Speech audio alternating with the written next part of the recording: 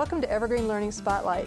Today joining us we have some folks from the Clark County Skills Center. Let's meet them now.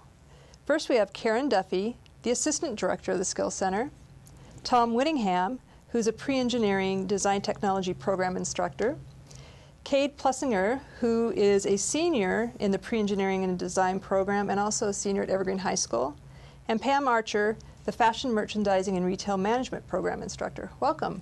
Thank you. Thank you. So Carrie, I'm going to start with you. Um, a lot of people may not know actually what the Clark County Skills Center is. Can you describe the Skills Center a little bit and the programs sure. you offer there? Sure. Uh, the Skills Center is a consortium type of school. We're owned by all 10 of the local school districts. Each of them um, have a, a part, have owned a part of the Skills Center. And we have 11th and 12th graders, juniors and seniors there, that really want to focus on the technical and career skills in particular areas. We are preparatory, so that means that this isn't an, a class where they would go in and say, what are all the different things I might want to do. This is real focused in on a career area, and they students are able to get uh, certifications, college credit. So it's it is a bright a bigger breadth than a regular sending high school would have normally in a technical program. So you said it's uh, juniors and seniors. Yes. What are the prerequisites for students to attend? Uh, other than being a junior or senior, it depends on the program. Some programs will have prerequisites based on the academic needs and requirements. For instance, the pre-engineering design uh, program has some math prerequisites uh, because there is a lot of math used in obviously in an engineering program. There are some programs that have other prerequisites like reading levels and things because we do use sometimes college level or late high school level texts. Okay. Um, although a lot of that has to do with the terminology so, what are some of the uh, programs besides engineering and fashion merchandising fashion and retail? Uh, we have applied medical sciences, dental assisting. Those are two programs that have large numbers of students. Um, diesel technology, financial customer service. We have construction technology, um, automotive technology, criminal justice. There's there is a total of 14 programs um, with our new program coming online in at the Skill Center. So pretty wide variety. Big so what are the options for students um, once they graduate? What are their post-secondary options after they go through one of your programs? Same as anybody else, honestly. Any, coming from any school, their options are uh, university, which we have happening here. We have students who are going to technical colleges, to Clark College or other local community colleges. We have students that attend apprenticeships. They get a, a placement in apprenticeship programs. Um, some students are going directly to work because they have certifications in almost all of our programs. They have a certification that allows them to start off Great. in their field. So, so how are the classes that are offered at the Skill Center different than, say, what Cade might get if he had just stayed at Evergreen? Cade would probably speak somewhat to that. Um, but I, I, would say the biggest thing is everything that they learn is then applied. So, where it's not just so much um, the theory, the theory is then applied. Okay. So the students learn to um, do and use what they've what they've learned. And I, would that be? Um, well, that's that's part of it. I mean, one of the biggest things for me was probably it's uh, it's a lot more one-on-one and hands-on with like uh, I know me and Mr. Whittingham like I mean two and a half hours a day for two years adds up to a lot of time right. stuff so we know each other pretty well. It's working relationship and I mean, we have a good time in the class. We it's it's you get a lot more time in the active field that you want to be so it's a class that you don't mind being there for two and a half hours. That's great. Because it's the longest class I have in the day but it feels probably like the shortest well, since we started talking about you and your program, why don't you tell us a little bit about the engineering program? Okay. The uh, program was designed mainly to uh, offer students a chance to see what engineering is about. Uh, we cover a lot of the different disciplines in engineering, so we expose the students to what engineers are, what they do, what type of uh, jobs they do. Um, we focus also on architecture. Um, we also focus on CNC machining and some of the manufacturing elements involved in engineering. And the whole premise of it is to try to give a student a good working feel for what it's like to be in some kind of an engineering environment.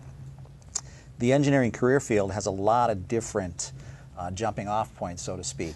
Uh, it not only encompasses engineers, but it encompasses uh, robotics technicians, engineering technicians, CNC machining, all kinds of things. So it's a, it's a really broad, broad area. So we have a good time with the students just exploring all those different items, all those different things.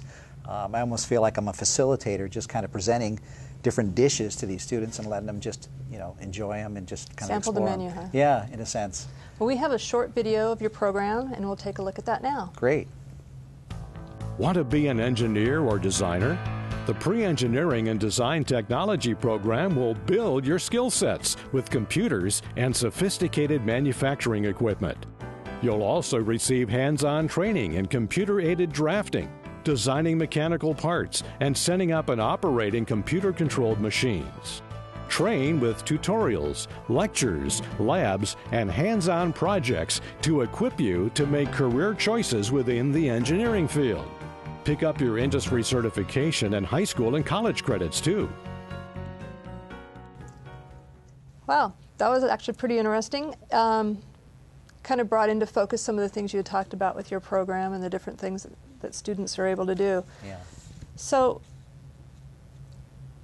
what are some of the jobs that students may go into? I mean, it looks like just engineering, but also possible architecture and Yeah. some of those things. Um, we, we give them a good basis on design and drafting and that kind of uh, element as well as CAD. So one of the things that students can, can do, they can enter the workforce as an entry-level CAD designer or drafter. Um, we offer a certification which is kind of unique. It's a certification that's sponsored by uh, SolidWorks, which is a software company. It's an industry recognized software that's pretty prevalent in the engineering realm. And we offer a certification in that where students, if they pass that certification, they're recognized as a certified SolidWorks associate. And that's a certification they can take to any business that has that program and runs, runs that kind of uh, program. Uh, they're pretty much assured to getting an entry level job. And I understand now this is one of the programs the Skill Center has had for quite a while. Um, do you have any record of the students who've gone through the program, what they're doing now? Some of the highlights, I guess, would Yeah, be? actually, uh, several of the students have come back and been on my advisory board as engineers. And typically, the course a student will take will be uh, maybe through Clark College two years, transferring to a university, and then over the course of three to four years, they'll come back as a mechanical engineer, uh, civil engineer, um, some kind of an engineering discipline. Okay. Yeah. And I know we have a young man here with us, but do you have any girls in your program? We do. we always, uh, we always, I don't want to say struggle, but we always look forward to having young ladies in the class. They certainly change the atmosphere, especially in an all, almost all male class. But uh, we, we do have. In fact, this year I probably have more girls than I've ever had in, in the years past. Uh, and we're always hoping that they'll tell their friends and there'll be more, more females in the class. So, what do you think girls are hesitant to go into engineering? You know, I, I wished I knew. I'm not sure if it's intimidation. I know the girls that do come in, they, they certainly uh, are young ladies that, that know how to hold their own, and, and, uh, but I'm not sure, I'm not sure why they, they don't come to the, those kind of classes. So, your ideal student, what, what would be the skills you would like them to have when they come in? And Well, probably the most important skill is that they're enthusiastic and they see something here that they could develop into a career. Um, once they get here, uh, I almost, in fact, I tell my students that really you're my employees and I'm going to treat, treat you that way. Um, and I'm your employer. So I try to foster a realm or a, a realization that um, it's not just a class, but it's, I'm trying to prepare you to enter into either a career choice, a workforce, something more than just a class. So I, I put a lot of, uh, not physical pressure, but I put a lot of pressure on them to, p- to perform, Okay. uh, to basically um, be productive. And that's pretty prevalent throughout the whole Skill Center and all the programs, isn't it? Yeah. You know, really Yeah. trying to get these students ready for Ready, work, right. and so they understand. Because they really the have to notch it up a level.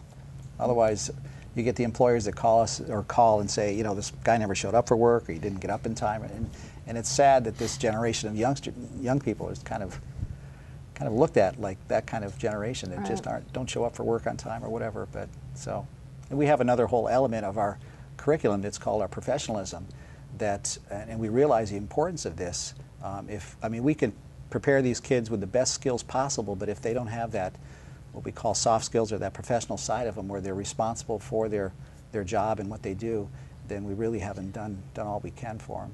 So. Great. So, Cade, you've been there two years now, Yeah, it's my second year. and how long is the class each day? Uh, two and a half hours. And that's every day. So, um, how do you get there? Uh, there's a school bus. Okay, so you don't have to drive or anything. No, uh, they're pretty strict on their driving policy. So, what's the driving policy? You don't drive. Driving policy is if you are from a district that sends a bus, you ride the bus. Okay. And the purpose of that is? Safety, parking in the parking lot. Whereas we have a lot of businesses on our campus, and we have a lot of um, people coming in to those businesses, and so there's not a lot of extra parking. But always number one is safety, and the superintendent's council. All the superintendents from all those sending districts run the skill center, and that was one of their their um, rules was we'll send a bus and students will be on it. All right. So- So, Cade, going back, think back to your sophomore year. What made you uh, decide to go to the Skill Center your junior year, and how did you decide what program to go into? Well, uh, probably one of my main things for that I considered Skill Center for was uh, like I had the people that came to the school and kind of presented, showed the videos. I mean, uh, they they kind of give you a taste of what it is, but they really can't describe what it is as someone that you know that's been there. And my sister, she took the Applied Medical Sciences program, and she uh, she went through nursing really quick. Like she got her bachelor's degree at 21 and stuff. So like I saw how that helped her stuff, and I had an interest coming up from middle school and part of high school looking at the engineering aspects and you know taking the on the computer to in your hands on the CNC type of thing stuff and I thought that was pretty cool so it seemed like a pretty good match for me and stuff and engineers they get paid decent amount of money so it's a you know it's a real career that I can choose from so, So, what are your plans for next year? uh, well next year I, I got accepted to a four-year university at Brigham Young University Idaho so I'll be going there and majoring in mechanical engineering So, this program has actually helped you then. oh definitely yeah Do you think you would have gone into engineering if you hadn't gone through the Skill Center? Um, I probably would have gotten there somehow. I would imagine because it's still I still have the same mindset, but I probably would have been a lot more roundabout path and stuff because it's a it's a very direct class. So it, it hands you exactly what it is and says take it if you want it. So if you take it, you're set. So, what kind of um, classes? I guess what I'm asking is, if you had stayed at Evergreen, you would still had to take math and different things. Does this fill in for some of those math credits or different things, or are you still having to take your Um, four years of math or Yes whatever? and no. Uh, it does have some, because it counts as uh, three half credits, so Okay. it's the three normal classes, and uh, it you can replace some of them with like art credit and stuff like that.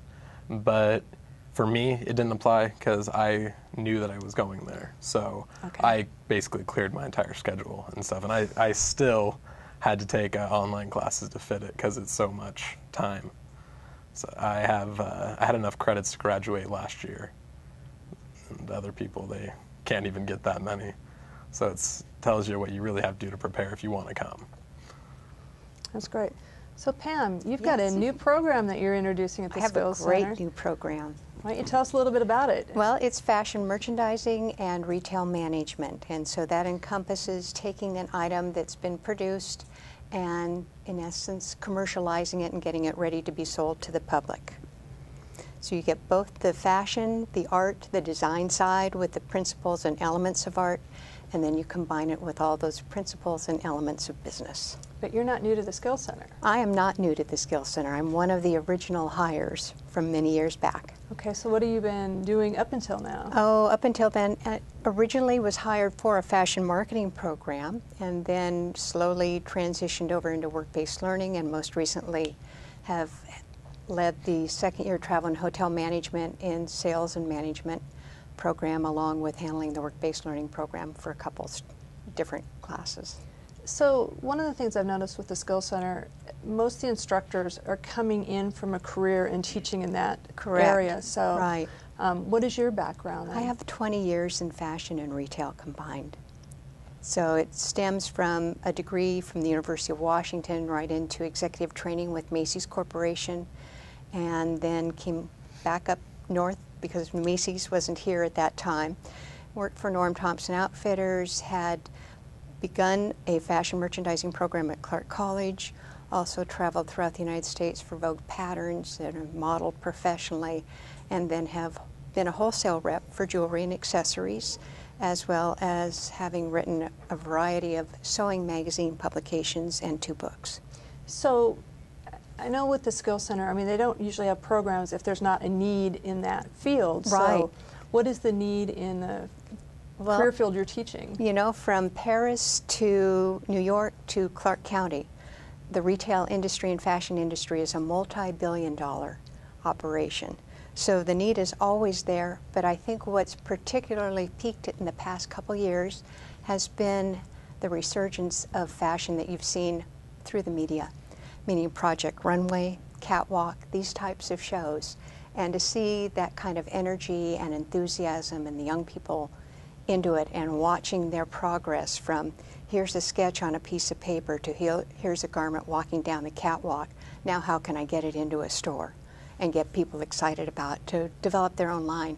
It's just a wonderful process. So what, what are the classes going to be that you're teaching? Oh, well, it's just that, what I said, the fashion merchandising and retail management. So we're going to start off with taking a look at the design elements and how do you begin to put a garment together? What goes into that process? What kind of colors are you using? What's your design line going to look like? Who's your target market? Who are you trying to aim for?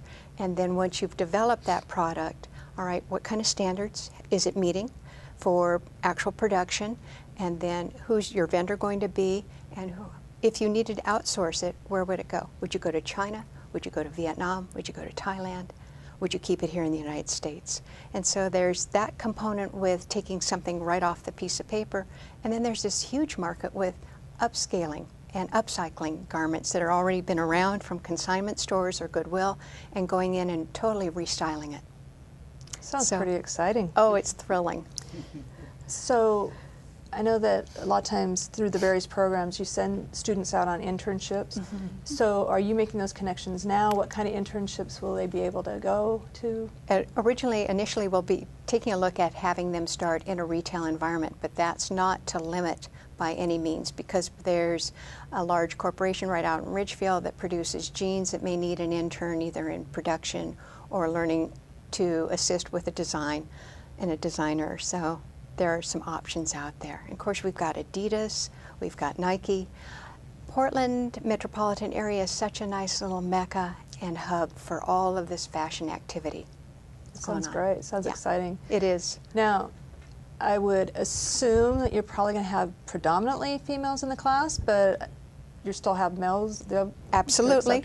Absolutely. You know, over the past few years, Carol, I've taught an intro to fashion summer school program.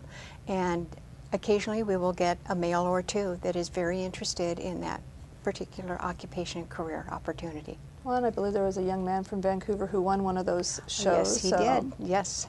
Yes, Yeah. Project Runway, a couple seasons ago. That's great. So, Karen, kind of, or Carrie, I'm sorry, wrapping back to you. Um, wide variety of programs, Mm-hmm. but what are some of the similarities with the various programs that the Skill Center is offering? The biggest similarity is our soft skills, our professionalism skills. You can walk into any program and you are going to get that type of an employee, that type of skill in those students, no matter what program you're, you're walking into. That's really been um, the culture of our school, and that's really been the focus in general because that's what our advisory boards tell us that students need the work ethic, the soft skills to be able to work together as a team, to be collaborative, solve problems, and our kids can do that. So we spend a lot of time, approximately 20 to 25 percent of our time with students is around developing those skills. What happens if you have a student who isn't developing the skills or wants to goof off or play around? And, and it happens all the time. and because there's there's students still. I mean, they're they're high school students, and we understand that. We I think what what we do that's different because it is hands-on, because it's so applied. Um, we have less issue with that, um, and it's fun. I think the students really have a, a good time with that. But we work with them. It is it's a it's constant. It's constant work, and students we have standards that we want them to meet. But the reality is, is everybody's an individual, and we meet them where they are, and we help grow them as best we can towards the standard that we're trying to um, get to at the end of that school year. And I think Cade alluded to it a little bit when he said that you know we've got two and a half hours together, Yeah. and we as instructors really do form a relationship with our kids. Um, we take an interest in what they're doing, where they're going, um, and I'm not saying that, that other teachers don't, but we've got the time to do that, which is really important. Um, I know coming from conventional high schools, you know, you see so many kids and you just, they come in and go out and come in and go out. But we get a chance to really spend some time and, and, and understand them. How many students attend the Skill Center? Right now, around a, just over a thousand, thousand fifty. But they're not all there at the same time. No, they're there. We have three sessions. The majority of our students, though, are, in, are within two sessions. Um, they're two two and a half hour periods. First, second, and third period are fourth, fifth, and sixth. We do have a session three, which is after school, and we have just the dental and applied medical science. There's such a need in the community for those positions, and there's a need um, that we have to be able to fill extra extra places in that those programs. So. I've been to the Skill Center quite Mm-hmm. a few times, and I've had the pleasure and opportunity to have meals there. Oh, And I think that's something a lot of people don't know is that they can actually come in and there's a restaurant there. Can you talk a little bit about that? Sure, Touch of Class. Touch of Class is the restaurant that's run by our Restaurant Management and Culinary Arts program. They are open three days a week for breakfast and lunch. Uh, we also have five dinners, themed dinners a year that you can come um, in the evening, and they have these fantastic five, four, and five course meals that the students prepare. It's a student-run restaurant, and um, and kitchen. So students are doing everything with the guidance of the chef and Mr. Retchels, who runs the front of the house. It is an ACF, or American Culinary Federation, um, certified program. Uh, received highest honors last year for their recertification in the United States. So it's an outstanding program for us. And it's we have other businesses. We have um, the dental clinic on campus. We also have a bank on campus at IQ Credit Union. We have the um, automotive area that they people can bring cars in if they want um, to have them worked on. Cosmetology. Um, there's that they people can make appointments. That is our program, but off campus. Uh, we also have in construction technology, our second year construction students build a house, and the first year students build sheds. So there's there's lots of businesses on our campus. Now, you, you, you mentioned several of those. So with the credit union, if I wanted to come in and do my banking there, I could and Yes, absolutely. A- get my oil changed in my car. Yep. well, we can do it. all right. Yeah. One-stop shop. And you, will you be giving fashion advice next year for folks who want to come in? Or? I wouldn't say no to that by any means, We because might need it. again, another occupational or career area is a student could become a fashion stylist as well. So you think of them just entering sales. No, there's just way more, way more to that, all of that. And what we've found over the past years is when the students go through the program, they just move up the ranks so much faster and are placed into management ever so more quickly than their, their counterparts that don't have the experience or the background to it. So you combine those technical skills with those soft skills, and you've got one highly capable, very qualified applicant.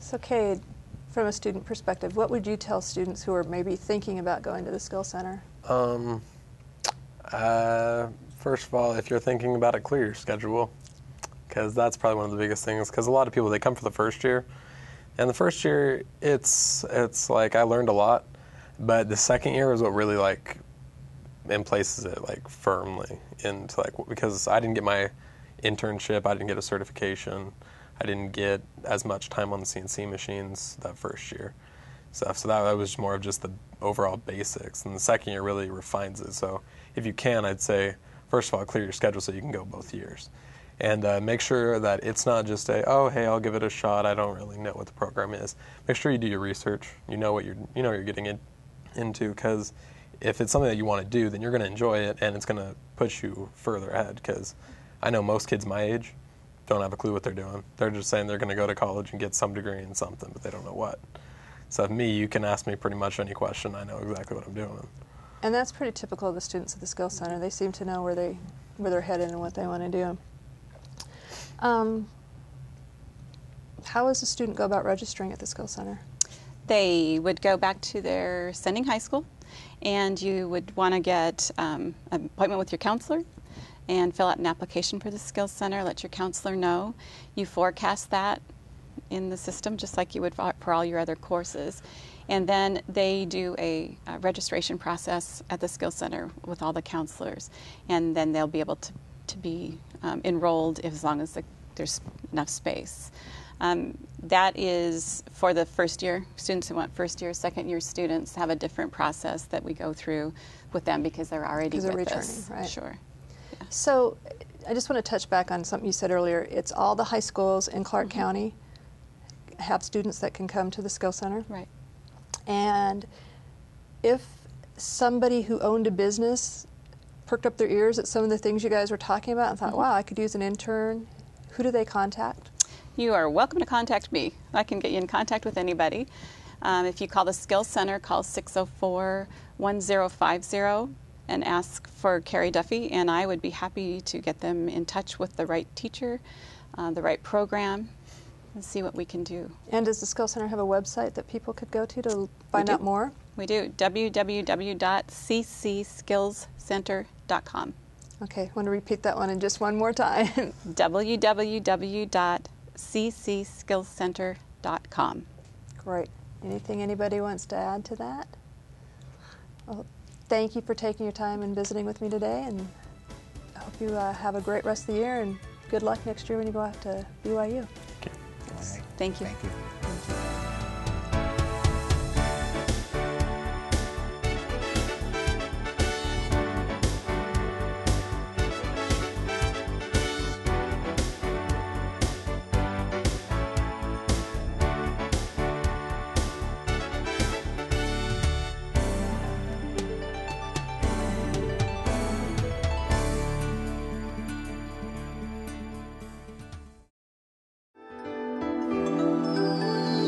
This program is being provided by the 15 members of the Vancouver Educational Telecommunications Consortium, TV, etc.